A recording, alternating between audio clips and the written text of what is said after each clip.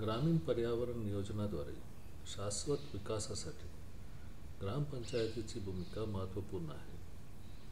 यासाठी गाव पातळीवरील नैसर्गिक साधनसंपत्तीची माहिती असणे आवश्यक आहे.